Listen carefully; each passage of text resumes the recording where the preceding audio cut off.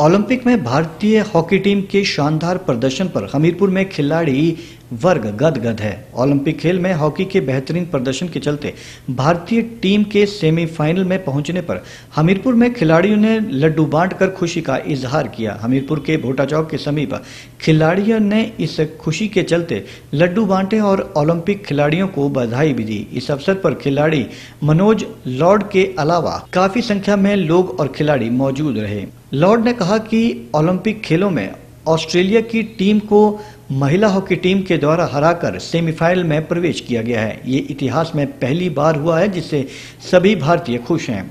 उन्होंने भारत के खिलाड़ियों को बधाई देते हुए कहा कि ओलंपिक में भारत के लिए जीत का परचम लहराकर खिलाड़ी वापस लौटेंगे। हमारी लड़कियों की हॉकी टीम ऑस्ट्रेलिया को हराकर सेमीफाइनल में पहुँची। इसको आज तक हिस्ट्री में पहली बार हुआ। इतिहास में पहली बार हमारी जो हिंदुस्तान की लड़कियाँ वो सेमीफाइनल में पहुँची और ऑस्ट्रेलिया को हराया। खिलाड़ी ही रहे हैं आप भी क्या उम्मीद है इस बार ओलंपिक से?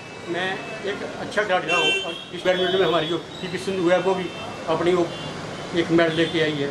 और उसके बाद आगे सेमीफाइनल में भी हमारी टीम जीतेगी और फाइनल भी हमारी टीम ये हमारी अब ये है हमारी कि वो जीत कर आए। वहीं हॉकी खिलाड़ी मनोज ने कहा कि बड़ी खुशी की बात है कि पहली बार महिला टीम सेमीफाइनल में पहुँची है और उम्मीद है कि गोल्ड लेकर वापस लौटेंगी। उन्होंने कहा कि पहले भी भारत की पुरुष हॉकी टीम ओलंपिक जीत चुकी है और इस बार अपना जीत का क्रम जारी रखते हुए उनसे भी गोल्ड की उम्मीद की जा रही है। आज बड़ी खुशी की बात है कि पहली बार हमारी महिला हॉकी की टीम सेमीफाइनल में पहुँची है। और होप है ये इस बार गोल्ड मेडल लेके आएगी।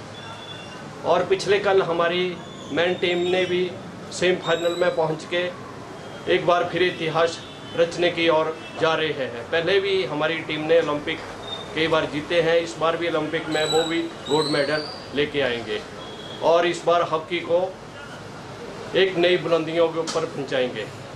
इन सभी को मेरी गुड विशेष कि इस बार महिलाएँ भी और उस टीम भी दोनों दोनों ही गोल्ड मेडल जीत के आए। धन्यवाद।